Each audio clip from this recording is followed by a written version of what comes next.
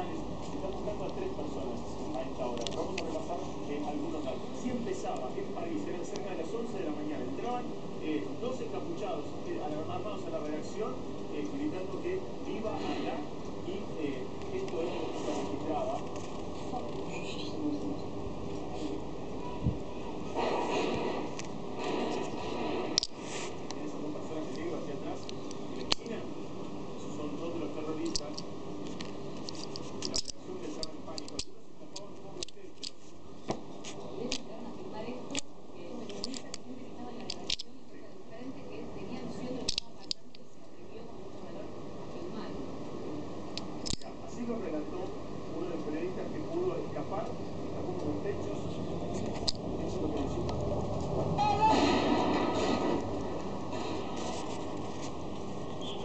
Thank you.